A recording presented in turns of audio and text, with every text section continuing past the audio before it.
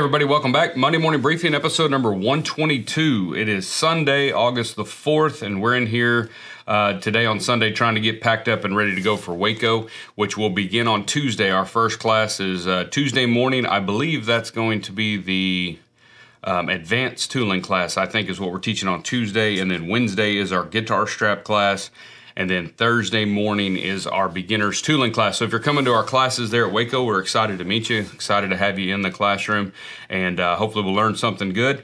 We've got quite a few uh, workshops this year at Waco. I, I, don't know what the last number was, but they've got a full load. So there's still a lot of openings, a lot of workshops at the uh, Waco Leather Trade Show that are available. So if you're if you're coming to Waco, maybe last minute deal, and you've got a little extra day or two that you can come early and want to take a workshop, there are some available. You can go to uh, Leathercrafters and Saddlers Journal's website and see what they've got available, see what classes are there. All of ours are full. But um, and we want to thank everybody that signed up for those workshops, and we're excited to get there. We've been hustling in here trying to get. I got everything cut for our guitar strap class.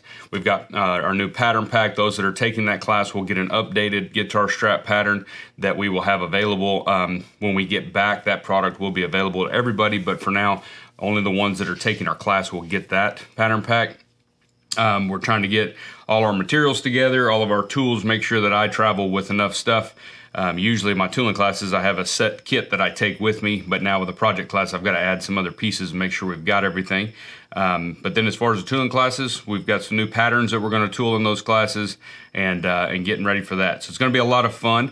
Um, the shop is an entire wreck. I know I say that all the time, as it's a workshop, and if your workshop is very clean and tidy and orderly, um, I don't know how you do it. If you if your shop is that way, I don't know how you do it. Mine's never that way. We're always in in kind of a a little a little controlled chaos in here, but that's because we're always buzzing around and doing stuff. We were working in our station or trying to get stuff shipped or trying to get stuff cut. Um, we got another load of leather come in right before or last week, so right before Waco, and we are cutting a bunch of material packs for Waco, so we will have those available in our booth. And um, and so we're excited for that. So we should have plenty of stuff.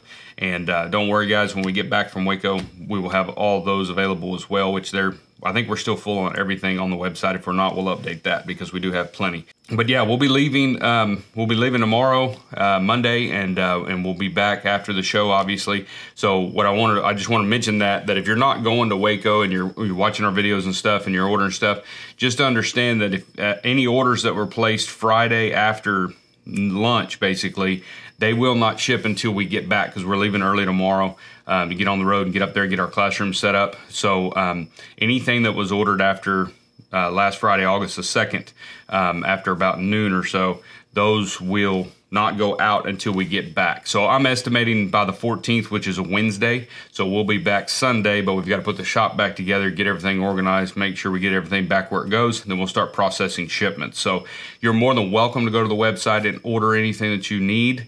Um, but if you are in a pinch and need it fast, just understand it will not ship next week. I repeat, it will not ship next week. So if you order anything, um, if you're watching this video, just understand that that don't don't pay for two day shipping or any of that, and understand that two day shipping is from the time I give it to the post office. So if we're booked up on shipments or something, um, sometimes they don't go out that very day, right? So just understand that it's uh, we don't charge a shipping and handling fee. Um, if that becomes an issue, you know we can always do that too. If people just have to have it go out that day, um, you know we can kind of figure that out. But right now we don't charge a, a, a handling fee of that product. We do charge shipping fees, but um, but just understand that we'll be out of the shop all the all this coming week, and so um, if you do order something, it'll get to you when we get back.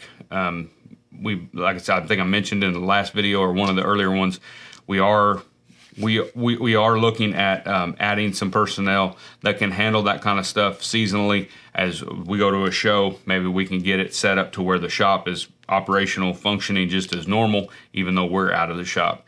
And so hopefully that may that may happen. We may have a trial run of that in October when we go to Wichita Falls, and that'll be the next show that we hit. The last show of the year will be Wichita Falls in October, um, and we'll talk about that later. But but right now, all eyes are on Waco. We're getting ready to go to that. I've heard from a lot of you guys that are going, and um, I'm just excited to meet everybody. We have um, quite a few friends. We got a lot of stuff going on.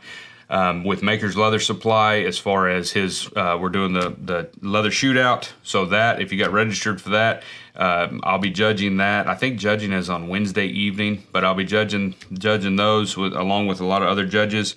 They'll be judging the different categories, so that'll be fun. Aaron has his booth set up for the um, the belts for people in need, people that need belts, things like that. He's going to have that booth set up. From what I'm hearing, it's going to be pretty fun. It's going to be pretty neat. So you're going to be able to, while you're at the show, you want to kill, you know, 20 minutes, you can run through that booth, grab you a belt blank, emboss it. And, you know, it's nothing fancy. We're not going to do any kind of, you know, real stitching or anything on there.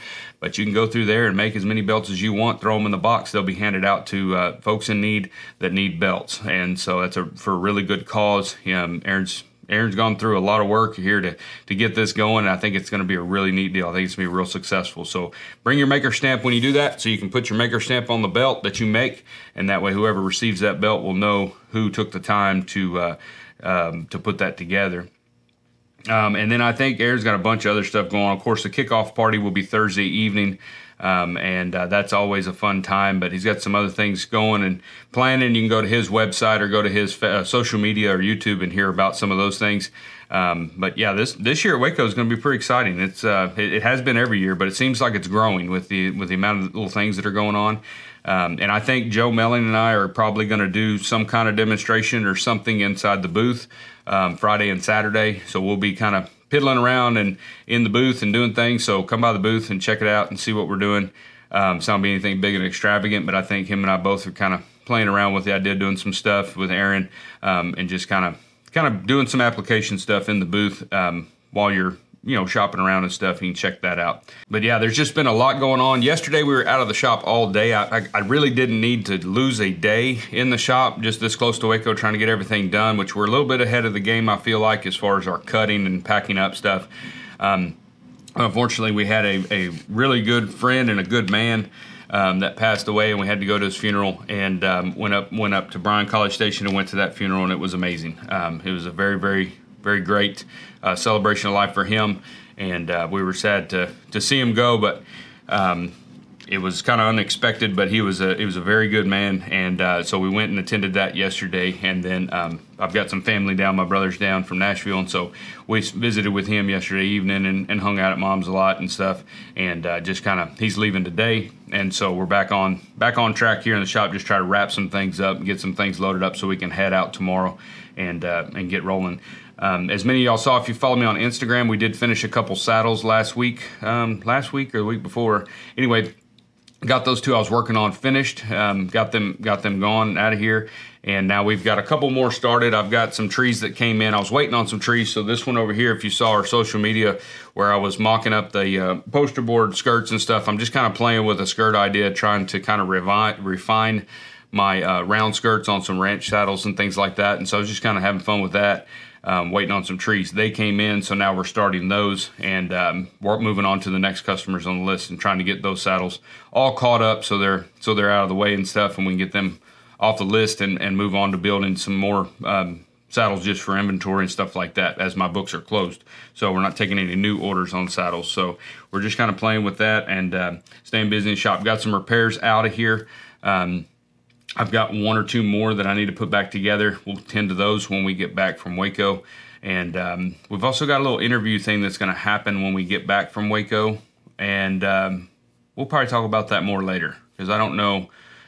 Some people have a real good schedule with their with their content creation that they do, and they have good schedule and kind of how they release, you know, their information and stuff. So I don't want to I don't want to ruin that. So, but it's going to be pretty fun. I'm excited about it. It'll be a good deal. Um, so that'll happen right when we get back. And um, and as far as our podcast, we did have a new one drop. Um, I guess week before last with Scott Reed. He's a knife maker out of uh, Oklahoma. This guy's really cool. He's really fun to talk to. Um, every time him and I get on the phone, I end up visiting with him for quite a while, which isn't surprising. I like to visit with folks. Um, but the podcast was very interesting. We we tapped into a, quite a few different topics and things. And of course, his business is completely different than mine um, because he's a knife maker. So, but as far as the inner workings of the business and things he struggles with or things that he's seen and trying to trying to uh, you know make the efficiencies a little better and different things like that it's all very similar. So i think you'll get a lot out of that episode.